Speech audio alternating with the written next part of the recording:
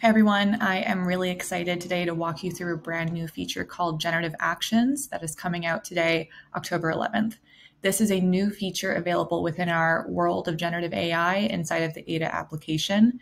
And today I'll walk you through a quick demo of how this unlocks so much more uh, potential within your chatbot. When it comes to support experiences with automation, there's typically two types of interactions that you can have with your customers. One, which is usually more simple, is on the FAQ side. And that's usually something like how do I reset my password, um, providing information around your own business policies and things like that. They're typically more scripted. However, on the other end of the spectrum are questions from the customer that require detailed, personalized information either about them or their history with your business. Some of these examples can include looking up an order if you're an e commerce company, or as I'll walk through in just a second, providing information on your customer's most recent flight booking and changing that reservation if they've made that request. That latter example typically makes up about 50% of customer inquiries, depending on your industry. And historically, that's been really challenging to build inside of a chatbot. It requires weeks of planning and multiple people with different technical backgrounds to figure out what the right scripted response should be, how to plan around different conversational states, and account for various edge cases. Oftentimes, due to the nature of human planning, a lot of edge cases get missed, and a lot of opportunity to resolve a customer's problem with automation falls through the cracks. However, with generative AI, the way that we've implemented it inside of our application completely revolutionizes this. You no longer have to spend weeks planning out this flow and instead can build it in a matter of minutes. All you have to do is give Ada your information and the tools that you use to resolve different types of customer inquiries, and our generative model can handle the rest. Let me show you what I mean. I'm on an example website for an airline called Air Atlantis. I have my bot deployed here and I'm going to ask it uh, information about my upcoming flight. Okay, so the first question I'm going to ask is around the status of my upcoming flight. Uh, can you check?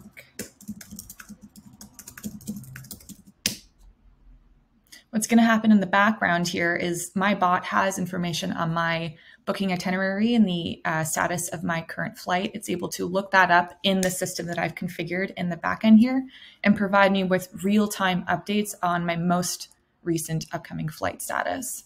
So as I can see, it's on time. It's going to arrive at 1:04 p.m., which is great. Uh, next, so I want to get information on what I've actually booked because I booked it so long ago. Um, so I want to know about my seat. Uh,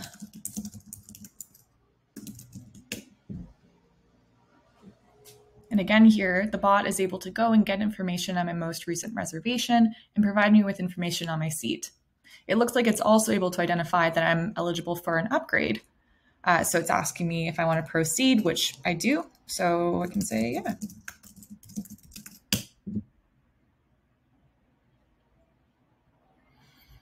And now again, on the back end, it's gonna process that request and make that change to my uh, seat reservation. So now I'm in a preferred row, which is excellent. That'll be a great flight.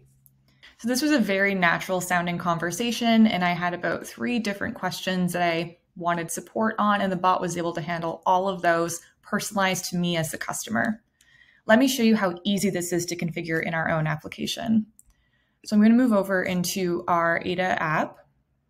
And this is our brand new generative actions landing page. You can see that I have three actions configured here.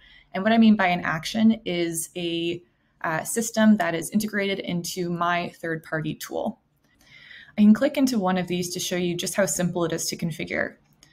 So all that you'll need to do is provide the bot with the name of the action and a description so the bot knows when to use this action under what circumstances. I can identify any potential inputs if the bot will need to go and ask me for information as the chatter. And then all I need to do is define what the API call looks like to this endpoint. And lastly, the output. So what is actually going to be returned from that API call that I want to share back with my bot to figure out how to best use this information to resolve my customer question. And that's it. It can take as little as a minute to build out an action inside of our application and you're able to have this extremely natural sounding conversation with your customer. We're really excited about this release and all of the potential use cases that our clients will be leveraging with this. We expect to see so much more uh, incredible support conversations with customers and much higher resolution rate for our clients. So I'm really excited that we're able to launch this today. And if you have any questions, feel free to reach out to me. Thank you.